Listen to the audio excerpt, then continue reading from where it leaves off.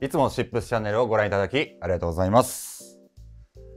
今回はですね、シップスの2023年春夏の新商品を、えー紹介していきたいと思うんですけれども、こちら今回はシップスドレスのスーツ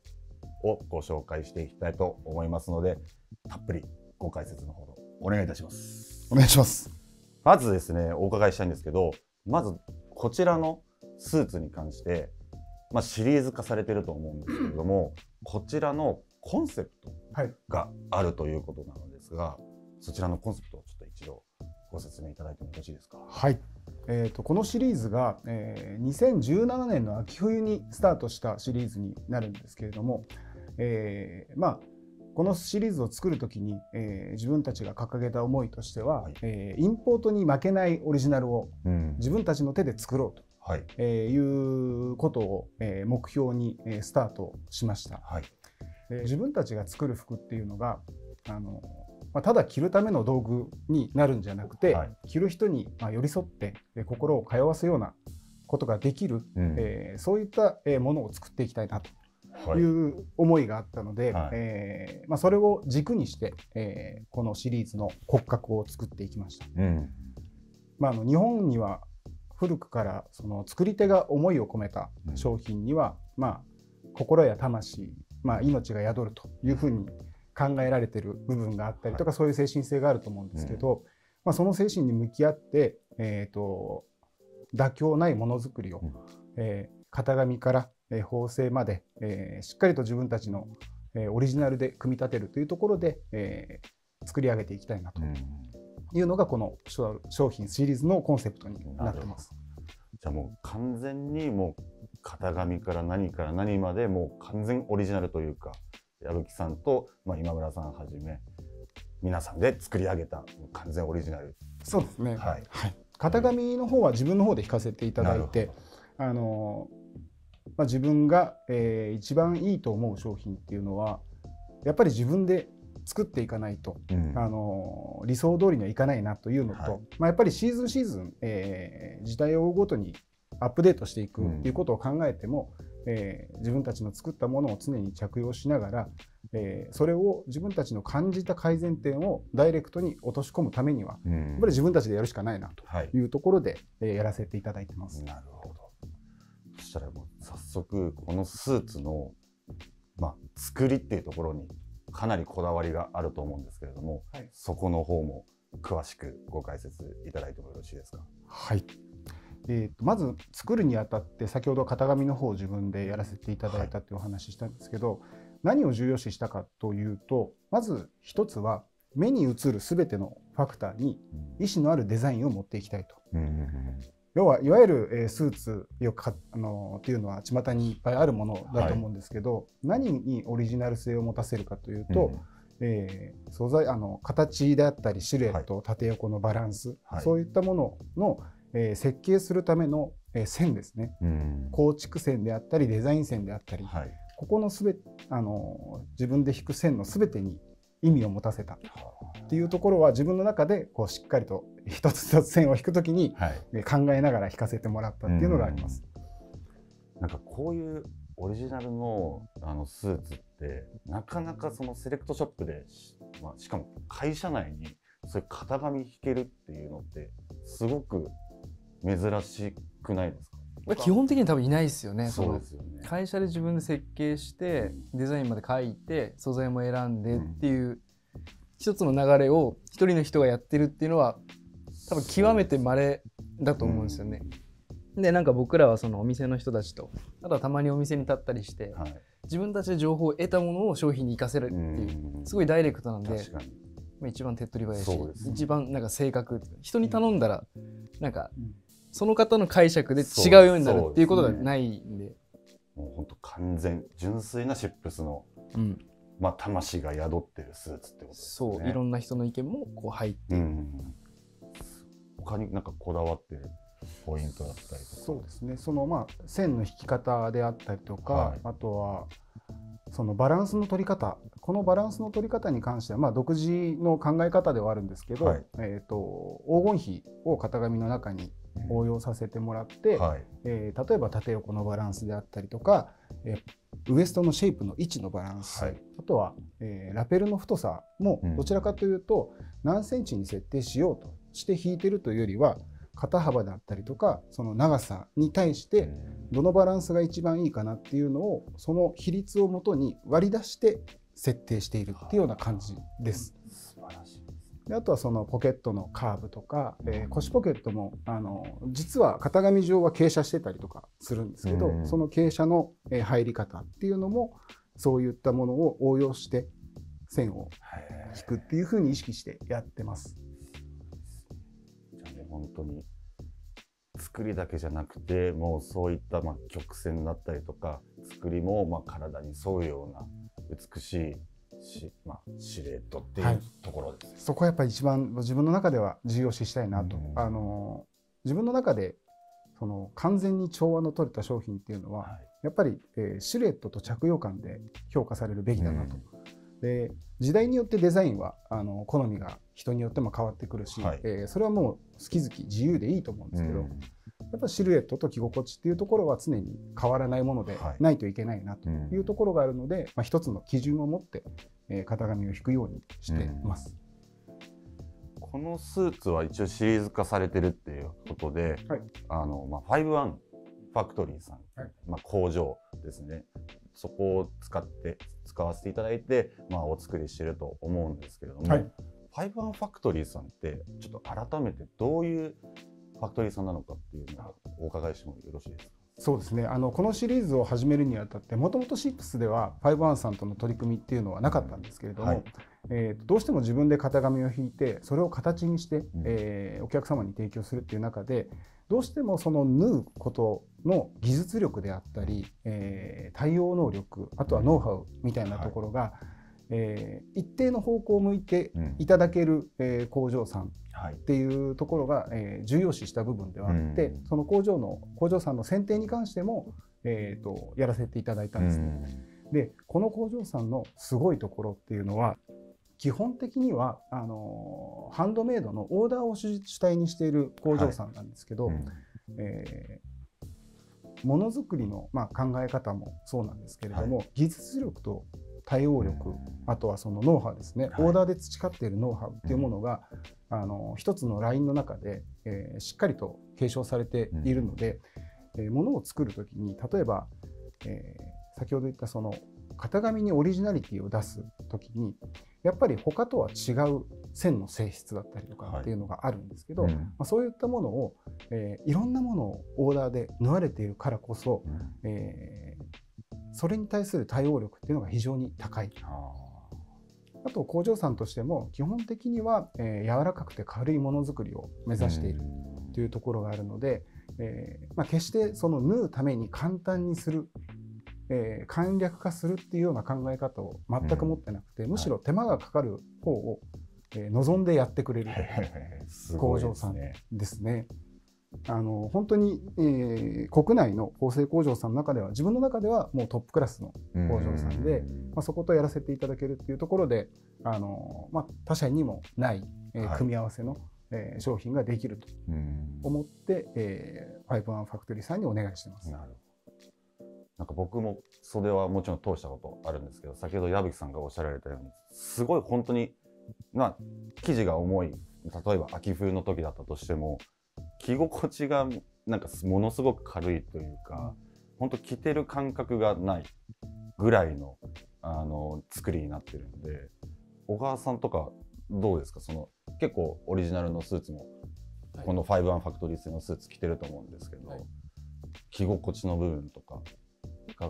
やっぱりあの矢吹さんからご解あのご解説いただいた通り非常にやっぱり肩周りだったりあの重さがしっかり肩に乗って、うん。で、まあ、ジャケット自体の重さがしっかりと分散されるっていう作りは着てすごくあの感じられる部分なので、うん。自分はやっぱり着心地が良くてあのひあの愛用させていただいてます。そうです。小川さんとか、はい。まあここ最直近までお店に実際に立たれてたと思うんですけどなんかお客様の感想とかはい、そうですね。やっぱりお客様もやっぱり着心地っていうところ、うん。非常にこう気に入っていただけてるんですけど、まあ、それよりもあの着た時のあのさっき矢吹さんがこうデザイン面あのお話しされてたと思うんですけど誰が来ても非常にこうバランスが整う、まあ美しいこうシルエットになるっていうところであのそこの部分見た目の部分を非常に評価されてるお客様がこれ多くて、まあ、それがこうお客様にも愛されてますしすごくあのシップスのスタッフもあのみんな愛してるスーツシリーズだと思ってます。ね、ありがとうございます。本当に確かにそのインポートのスーツってやはりこう日本人向きに作られてなかったりもちろんもうかっこいいんですけどでもやっぱこういうふうにオリジナルで作ってるからこそ日本人の体型だったりとかもう矢吹さんももうその日本人の体型とかそういうのをもう熟知されてると思うので多分そういう着た時のシルエットがもうバシッと決まるっていうのはもうそういうことなんだなというところはありますよね。ありがとうございます。そして最後にちょっとお伺いしたいんですけど、はいこの今回の、えー、と使われてる生地はいに関してお伺いしていきたいなと思うんですけどこの春夏の生地に関してはい。ぜひあはい、はいたっぷり解説をお願いします。今回ですね、あのこのラグジュアリーシリーズとまあ僕ら言ったりとかしてるんですけれども、はい。このシリーズを、えー実はこのシーズン初めて全店展開できることになったんですね。はい。それまではあの限定店舗展開という形で、えーやらせていただいてたんですけど今回から全店に展開させていただけると。はい、で、まあ、それにあたって自分たちも、えー好きでかつ、えー全店舗のドレススタッフも好きな素材うん。をピックアップしたいなはいというところで選ばせていただいたのがラッシャーミルズ、はい。えーという生地メーカーの素材になっております。はい。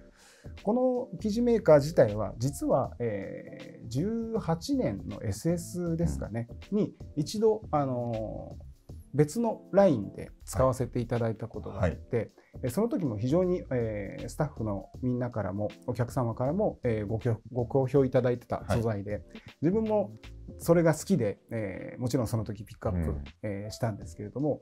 やっぱり忘れられないこの,、うん。あの素材感はい。をもう一度、えーその自分が魂を込めて作った商品に乗せて作りたいなはい。というところで選ばせていただきました。はい。でこの、えーメーカーさん自体は、えーイギリスの、えーハダースフィールドうん。という、まあ、いわゆる、えー英国紳士服地の聖地とうん。言われる、えー場所があるんですけども、はい。例えばイタリアで言ったらビエラはい。日本で言ったらビッシュ。うん。イギリスで言ったらハダースフィールド、はい。まあ、世界三大産地とか言われたりもするんですけど、えーそこで、えー作られてる、えーメーカーさんです。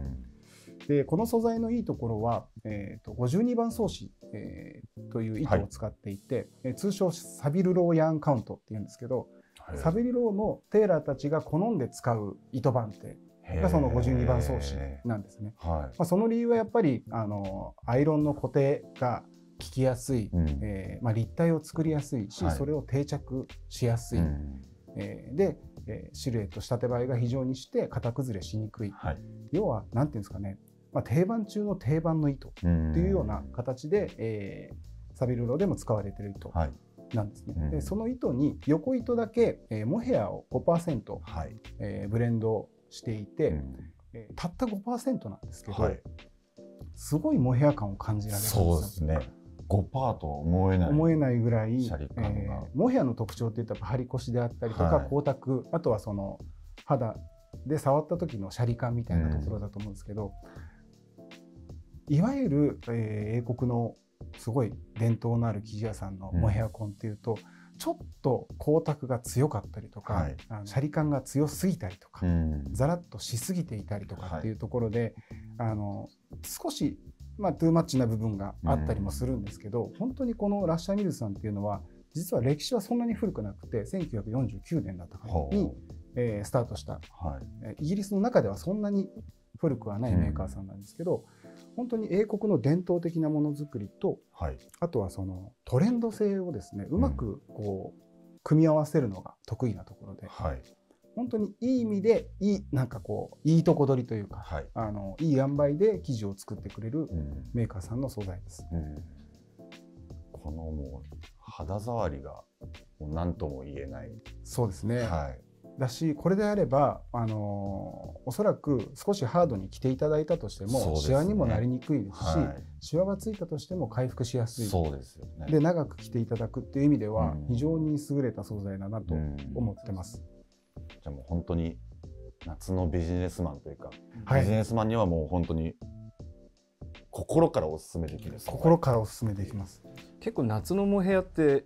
快適でいいですよ、うん。涼しいし。で手に持っててもさっきまあ言ってましたけど全然やっぱりシワになりにくいんで、うん。夏場上着着る機会って結構少ないと思うんですけどね。持ってる方が多いと思うんですけどそれもあんまり気にならないし、うん。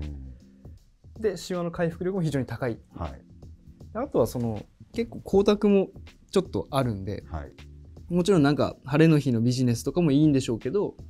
フォーマルとかでも使えるっていう素材なのではい。なんか夏場のそういうフォーマルとかにもすごいおすすめですね。うん確かにフォーマルとかいいですね。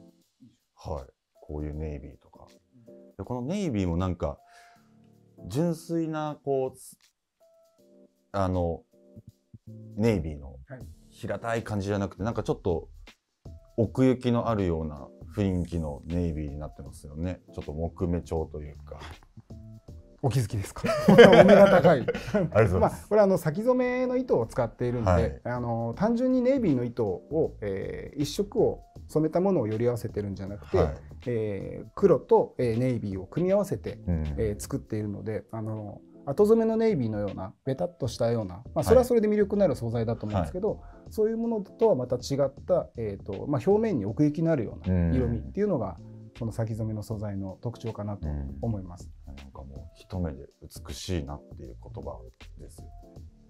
お客様からどうどうでした？そのこういうモヘアコンのスーツラ,、まあ、ラッシャーもそうだと思うんですけど反反応というか、いやモヘアコンはやっぱり非常にあの反応がいいです。やっぱり着ていただいた時の、うん。このパンツのクリースのラインの落ち方とかも、うん。やっぱり普通のウール100の生地よりもあの格段にさらに綺麗ですし、うん。うん。であのやっぱりジャケットのそうです。この補形性というか、はい。あのその部分っていうのもやっぱり張りが出ることで、うん。まあ、着た時も綺麗に見えるっていうところがあるんで、まあ、そのシワにならないっていう機能面も含めて、ねシルエットの部分もまあ非常に美しくうん映るように感じます。なんかこのクリースもね結構落ちにくいんだよね、うん普通の売り100に比べて。結構あれですよねなかなかお客様でこうご自宅でケアってなかなか難しいと思うんですけど、まあ、そういったところもなんか本当ハンガーかけとくだけでももうそうそうストンとうんうん綺麗にまあクリスラインも落ちづらいっていうところも嬉しいポイント。どうしてもこう梅雨時とか取れちゃいがちですけどすごい取れにくい、そうですね。こちらです。あすいませんでした。こちらのパンツはワンプリーツ、はい組み下のモデルになっているっていうことですね。はい。はい。こちらのスーツのえっ、とお色味のバリエーションなんですけれども、ネイビーの他にそちらグレンチェック。はいはい。本当に伝統的なグレンチェックの大きさなので使いやすいかなと思います。そうですね。あともう一つバリエーションとしては、そちらのピンスワイプ。はい。はい。こちらの3色展開といった形で、こちら3月には店頭に並びますので、ぜひ皆さん、こちらご試着いただいて、あの、実際にこちらの生地の雰囲気だったりとかも実際見ていただければと思いますので、こちら今日はたっぷりありがとうございました。ありがとうございます。たありがとうございました。